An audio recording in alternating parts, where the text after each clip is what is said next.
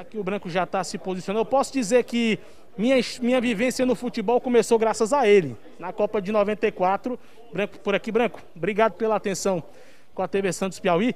Branco, vendo a oportunidade de observar o futebol de base também nos estádios, como é que você vê essa oportunidade de visitar a Teresina, que você volta depois de 39 anos no Campeonato Brasileiro de Seleções com a Seleção Gaúcha, teve aqui contra a Piauiense. Como é que você né? vê essa oportunidade? Boa noite. Boa noite, prazer falar com vocês. Prazer é imenso voltar aqui ao Piauí, a Teresina, que eu tenho ótimas lembranças. Aqui foi o meu primeiro título brasileiro. Difícil que foi, né? A gente ganhou no Sul 3x1, perdeu aqui 2x1, ganhamos um saldo de gols.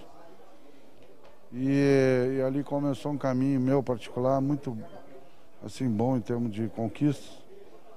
E a gente está sempre rodando, cara. Prazer vir aqui entregar o troféu aí da, dessa final. Esse jogo aqui que, que tá intenso demais, com pouca chance de gol, a única que teve fizeram.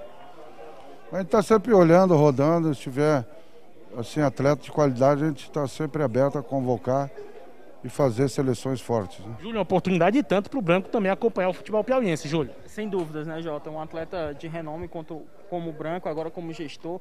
É, eu queria te perguntar para você, como é que a CBF vê essas competições de base, né? Porque ultimamente vem investindo muito nesses campeonatos, começou até o Campeonato Brasileiro de Aspirantes, que foi criado é. recentemente, e agora como a CBF vê. E eu queria também perguntar como é esse tour que a CBF faz visitando os campeonatos de base pelo Brasil. É, a sua pergunta foi uma pergunta muito oportuna, porque a gente está assim, dando muito valor à base. Hoje tem Campeonato Brasileiro 17, Copa do Brasil 17, 20, Brasileiro 20, 17. A gente pretende é, fazer o Sub-15, que eu acho importantíssimo. A gente não tem o Brasileiro Sub-15.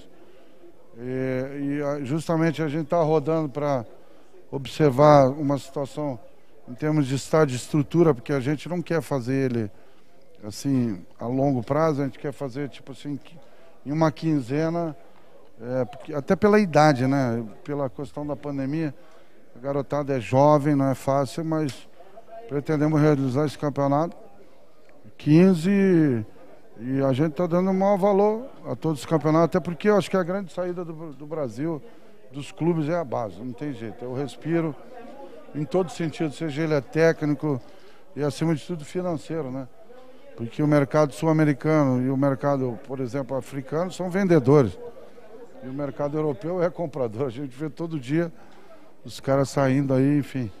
Mas está dando maior valor e cada vez mais fortalecendo o trabalho de base no Brasil para a gente chegar a, a, revelar grandes atletas para o futebol brasileiro, para as seleções, enfim. E valorizando o trabalho dos clubes, né? Agradecer o Branco, gentilmente, já vai começar o segundo Valeu. tempo aqui. Agradecer o Branco, que gentilmente é uma honra conversar com o Branco aqui na TV Santos Piauí.